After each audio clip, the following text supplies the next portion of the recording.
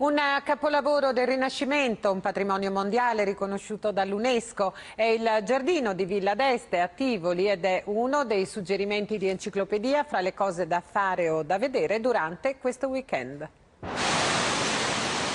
Un tempo era chiamato il Giardino delle Meraviglie, oggi è considerato un capolavoro del Rinascimento, così come era nelle intenzioni del cardinale Ippolito II d'Este che deluso dal mancato seggio papale a metà del Cinquecento, nominato governatore di Tivoli, affidò l'incarico del progetto al suo eclettico antiquario Pirro Ligorio.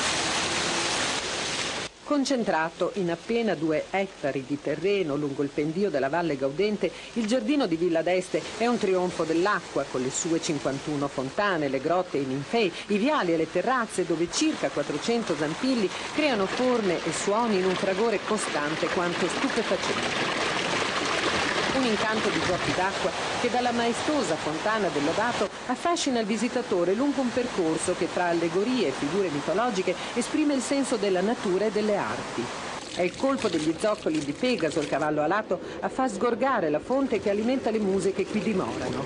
Dall'alto al basso un ingegnoso impianto idraulico basato sulla sola forza di gravità anima le tante meraviglie come la fontana dell'organo, che ogni due ore suona la sua melodia, generata da una sofisticata macchina idraulica basata sul meccanismo del carillon.